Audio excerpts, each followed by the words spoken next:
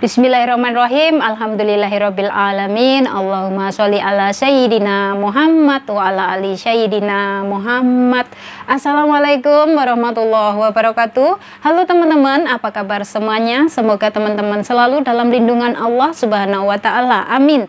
Alhamdulillah di video kali ini banyak sekali nih ya teman-teman kita yang masih ada di Indonesia nih ya, bukan satu dua tapi banyak minta yang namanya Mbak kasih dong PT yang ada di Jakarta yang amanah. Mbak kasih dong agent yang amanah yang ada di Singapura. Oke di sini ya teman-teman buat kalian semuanya yang saat ini sedang mungkin sudah mengikuti video-video dari saya ya pasti kalian berpikiran gimana sih cara untuk bekerja ke Singapura nih gimana sih cara untuk mendapatkan PT yang resmi itu? Pasti kalian bakalan kebingungan dan kalian bakalan aduh susah banget ya cari PT yang resmi itu. Coba deh tanya sama Mbak Aseh ya kayak gitu.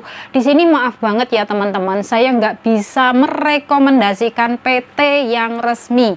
Nggak bisa ngasih agent dari Singapura sini. Karena apa kalian benar-benar yang ada mungkin tinggalnya di kota Kediri, tinggalnya di kota Semarang atau di Jawa Tengah atau di Jawa Barat ya seperti itu, kalian cari sendiri yang ada di Google Map. Kalian ketik lah, coba kalian ketik ya PT untuk bekerja ke luar negeri yang ada di area Kediri Ya, pasti dari situ nanti akan keluar dan akan ada alamat detailnya ya Mbak ya. Jadi di sini mohon maaf banget buat teman-teman, saya nggak bisa ngasih rekomendasi PT ataupun agent. Dulu sih ada ya teman-teman, tapi setelah saya cek ternyata linknya itu sudah nggak ada sudah nggak aktif lagi linknya. Jadi ya saya nggak tahu nggak tahu kenapa alasannya juga nggak jelas ya.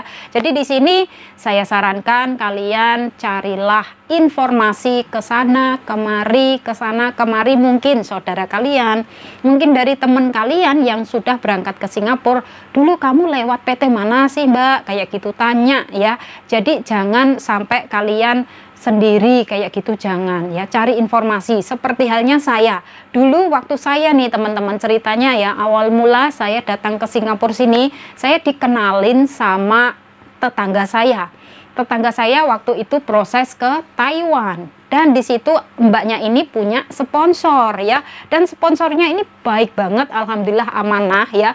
Namanya saya masih ingat namanya Pak Yayu dari Madiun ya kalau kita ngomongnya kalau kita ya, kalau kita kita sebagai TKW ini manggilnya Pak Yayu, tapi ada juga yang manggilnya itu Pak Yaya, tapi nggak tahu yang yang benar yang mana saya nggak ngerti ya. Pokoknya saya kalau manggil orang ini ya Pak Yayu kayak gitu aja ya, namanya Pak Yayu kayak gitu. Terus alhamdulillah saya proses ngikut Pak Yayu ini dua kali. Waktu saya pertama kali e, berangkat ke Taiwan dan yang kedua berangkat ke Singapura sini. Jadi lewatnya Pak Yayu terus dua kali ya. Alhamdulillah Pak Yayu ini meskipun orangnya ya sponsor ya suka dagel-dagel kayak gitu loh teman-teman suka yang namanya apa ya godain maksudnya ya ngajak guyon lah ya kalau orang Jawa ngomongnya seperti ngajak guyon kita kayak gitu. Yang penting kita jangan dianggap aja. Udah biarkan aja. Nggak usah dianggap nggak usah dimasukin hati. Ya namanya sponsor mah seperti itu. Tapi Alhamdulillah amanah ya. Saya itu dikasih uang saku dari Pak Yayu ini waktu berangkat ke Taiwan itu saya cuman dikasih kalau nggak salah 2 juta setengah.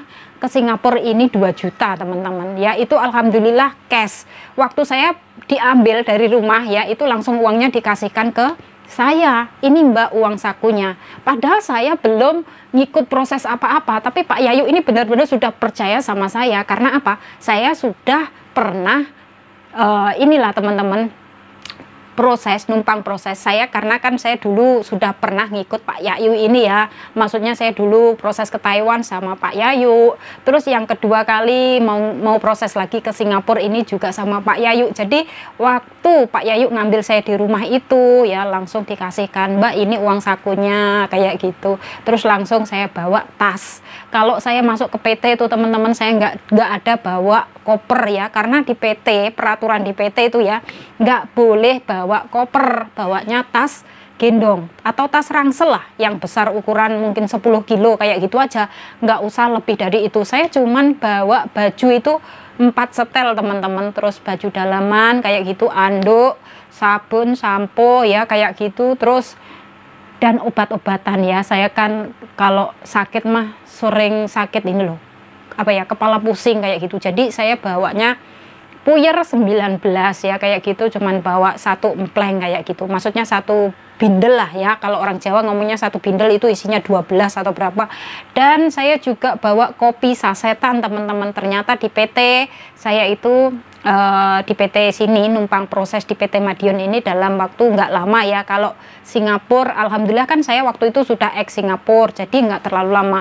Saya kurang lebih satu bulan kayak gitu langsung berangkat terbang ke Singapura. Dan kalau di Taiwan jujur saya itu lama banget teman-teman hampir tiga bulan tiga bulan lebih mungkin. Kalau nggak dua bulan lebih ya tiga bulan lebih karena sudah lama ya di Taiwan itu tapi ya alhamdulillah saya jalanin semuanya dengan penuh kesabaran. Dan saya di PT itu punya teman ya sampai saat ini masih berteman dengan kita ya masih berteman dengan saya ya. Itu namanya Mbak Mujiati itu adalah orang dari Madiun. Karena kan saya orang dari Ngawi. Teman saya itu banyak teman-teman ya dari daerah mana-mana itu pada masuk ke PT Madiun ini. Jadi banyak sekali dari yang Jawa Tengah ada, Jawa Timur ada, Jawa Barat juga ada. Mungkin ya uh, cabang lah, ada cabangnya kayak gitu atau bagaimana saya juga nggak ngerti ya. Tapi di sini ngikut proses numpang di PT Madiun ini, alhamdulillah semuanya baik-baik saja dan alhamdulillah uh, waktu kita ya, waktu kita belajar di PT itu loh teman-teman benar-benar asik banget karena apa? Di situ saya itu merasa nyaman karena apa? Teman-temannya itu semua pada baik-baik banget. Kan ada ya yang di PT itu maksudnya nanti ada e, misalkan ya ada yang namanya ya maaf banget ya. Kalau di PT kan ada yang uangnya dicuri atau ada yang kehilangan apa kehilangan apa kayak gitu kan. Tapi alhamdulillah di PT yang saya ikut proses ini alhamdulillah aman. Dan akhirnya saya di situ juga dapat ibaratkan saudara kayak gitu. Maksudnya ke mana-mana itu selalu berdua. Ya ini tadi sama Mbak Mujiati yang dari Madiun ya. Saya ngopi kalau sore habis piket ataupun pagi hari Minggu kayak itu habis olahraga senam kan kita kan selalu digiring dibawa ke lapangan kayak gitu kan. Sama uh, ketuanya kayak gitu sama gurunya lah ibaratnya ya guru yang ada di PT itu. Kita digiring dibawa ke sebuah lapangan kayak gitu. Kita disuruh untuk lari-lari kita untuk nyanyi-nyanyi ya pokoknya happy-happy. Terus itu cuman menghilangkan rasa suntuk saja ya. Kita kan di PT benar-benar ibaratnya kita harus mengikut prosedur ya. Kita ke mana-mana harus laporan sama security atau satpamnya kan. Jadi ya alhamdulillah kalau menurut saya pribadi juga enak. Karena apa? Di PT yang saya proses ini teman-teman kalau Sabtu sore kita boleh pulang ya. Nanti balik lagi ke PT harus Senin pagi nggak boleh lebih dari jam 8 kalau lebih dari jam 8 nanti juga dikenakan sanksi. Maksudnya kita itu ibaratnya uh, kena sanksi lah. Kalian tahu kan kena sanksi? Maksudnya di uh, disuruh untuk membersihkan apalah, membersihkan apalah kayak gitu ya.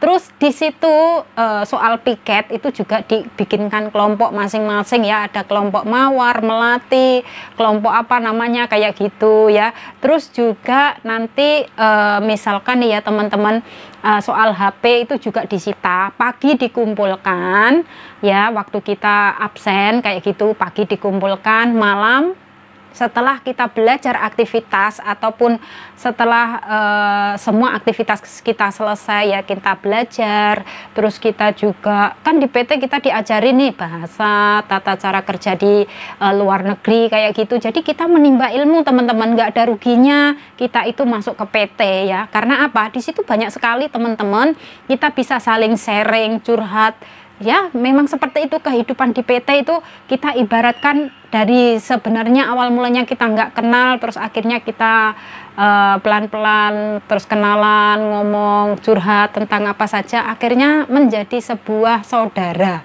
kayak gitu ya. Jadi ya ibaratkan ya memang seperti itu awal mulanya uh, semua mbak-mbak TKW yang kepengen kerja ke luar negeri harus masuk PT ya mbak ya. Kalau nggak masuk PT nanti kalian nggak tahu apa-apa. Sudah bahasa nggak ngerti, tata cara kerja di luar negeri nggak ngerti, nanti kalau setelah sampai di rumah majikan, kalian sendiri yang bakalan repot, kalian sendiri yang bakalan susah, ya Allah, ini bagaimana cara kerjanya, kok nggak ngerti ini bagaimana, karena di Indonesia dengan di luar negeri itu sudah berbeda, semuanya nggak ada yang sama mbak, jadi mungkin ya buat teman-teman semuanya yang saat ini kepingin kerja ke Singapura, terus Bagaimana ini caranya? Ya harus masuk PT. Kalian harus yang namanya mengikuti prosesnya dari PT itu dari step by stepnya harus diikutin ya karena misalkan kalian kok tiba-tiba langsung menghubungi agent yang ada di Singapura tanpa ada pembekalan dari Indonesia, kalian bakalan kerepotan sendiri. Nanti yang ada malah kalian merasa nggak betah di rumah majikan. Karena apa? Nggak ada pembekalan dari Indonesia, kalian nggak nggak tahu apa-apa ya kecuali kalau sudah X ya kalau sudah X mah nggak usah diomong ya yang XX ini sudah pada pinter ya yang X Singapura mungkin sudah tahu lah ya tata cara kerja di Singapura bahasa juga udah tahu kayak gitu mah sudah ibaratnya pengalamannya kan sudah ada. Lain ceritanya kalau masih non masih fresh itu kan nggak tahu apa-apa. Jadi alangkah baiknya di sini saya sarankan ya masuk ke PT nggak ada ruginya ya. Jadi menimba ilmu itu juga demi kebaikan diri kita kayak gitu ya. Pembekalan itu juga penting mbak ya. Nggak ada ruginya saya selalu menegaskan bahwasanya kalian masuk ke PT itu adalah yang terbaik untuk kalian sendiri. Dan misalkan nanti ya buat teman-teman semuanya kalau mau terbang ke Singapura sebelum terbang itu usahakan minta restu entah itu dari orang tua entah itu dari suami minta restu agar apa toh? Agar perjalanan kalian itu dipermudahkan agar apa toh? Agar bertemu dengan keluarga majikan yang benar-benar baik ya menerima kekurangan kita agar kitanya itu bisa diberikan semuanya kemudahan-kemudahan lah kayak gitu. Karena apa? Banyak sekali dari teman-teman kita yang pertama kali masuk ke Singapura ini kuaget teman-teman. Lah kok bisa? Iya karena apa? Sudah bahasa nggak ngerti, tata cara kerja di Singapura nggak ngerti, akhirnya apa? Nggak betah. Akhirnya apa? Sering transfer. Karena apa? Ya satu, mbaknya nggak sabaran. Yang kedua, emosi. Yang ketiga, gampang putus asa. Yang keempat, nggak mau yang namanya mengikuti proses. Maksudnya nggak sabaran. Ya, yang namanya kita bekerja di rumah majikan ya harus adaptasi dulu, mbak adaptasi itu benar-benar nggak mudah butuh waktu yang lama adaptasi butuh waktu berapa lama Mbak Asih tergantung kalian. Apakah kalian itu orangnya cekatan? Maksudnya itu gatean? Gatean dalam arti apa Mbak Asih? Cepet inget cepet tanggap dalam apa pun. Kalau majikan ngomong kalau majikan nyuruh ini nyuruh ini kalian itu ingat terus. Nggak bakalan titik-titik lupa titik-titik lupa ya. Terlalu sering lupa itu nggak bakalan bisa membuat kalian bisa betah di situ. Karena apa Ter, mungkin ya dari teman-teman kalian mungkin dari kalian terlalu banyak pikiran. Jadi apa? Pekerjaan sering lupa-lupa terus kayak gitu. Karena apa? Ya saya tahu paham ya. Kalian jauh dari keluarga jauh mungkin dari yang sudah berkeluarga jauh dari anak jauh dari suami jauh jauh dari orang tua itu memang nggak mudah. Tapi sabar. Ingatlah Mbak bahwasanya kalian kerja ke luar negeri ini, keluarga yang ada di Indonesia sudah pasti mengharapkan kalian itu loh benar-benar bisa menjadi orang sukses, bisa membahagiakan keluarga, bisa yang namanya merubah nasib ya kayak gitu. Pokoknya keluarga yang ada di Indonesia sudah pasti mengharapkan kalian semuanya itu pulang dengan membawa kesuksesan. Jadi untuk itu buat teman-teman semuanya yang ada di sini ya yang ada saat ini menonton video ini semoga kalian bisa terbuka hatinya bahwasanya ya aku kepengen juga sukses aku pokoknya harus bisa ya seperti itu pikirannya ya Mbak ya. Kalau misalkan saya aja bisa, pasti teman-teman yang lain juga pada bisa. Saya ini manusia biasa, kita sama Mbak ya. Yang penting niat, yang penting kita punya semangat yang penting jangan lupa sama Gusti Allah ya. Seperti itu. Oke teman-teman dan di sini saya sarankan ya buat teman-teman semuanya jangan lupa menabung. Kenapa toh Mbak Ase selalu nyaranin untuk nabung? Karena begini loh Mbak ya. Kerja menjadi seorang TKW itu capek capek banget, lelah banget. Misalkan kalian sudah capek, sudah lelah ke orang duit tabunganku ya bakalan rugi geden, Mbak, ya. Jadi jangan sampai kalian rugi geden, jangan sampai rugi sendiri. Harus menabung demi masa depan kalian dan juga mungkin demi keluarga kalian atau mungkin demi anak-anak kalian seperti itu. Oke teman-teman semoga saja sharing dari saya ini bisa bermanfaat dan bisa memotivasi buat teman-teman semuanya. Saya doakan semoga teman-teman yang saat ini sedang menumpang proses ada di PT ataupun sedang menunggu di rumah semoga dipermudahkan segala urusan kalian. Semoga bisa cepat terbang ke Singapura bisa cepat bekerja di rumah majikan. Semoga majikan mau menerima kekurangan dari teman-teman kita semua semuanya ya. Mau menerima kita dengan apa adanya semoga diberikan kemudahan kelancaran bisa finish kontrak bisa pulang kembali ke tanah air dengan membawa kesuksesan. Amin. Oke teman-teman dan saya akhiri. Sampai di sini akhir kata. Wassalamualaikum warahmatullahi wabarakatuh. See you on my next video. Bye bye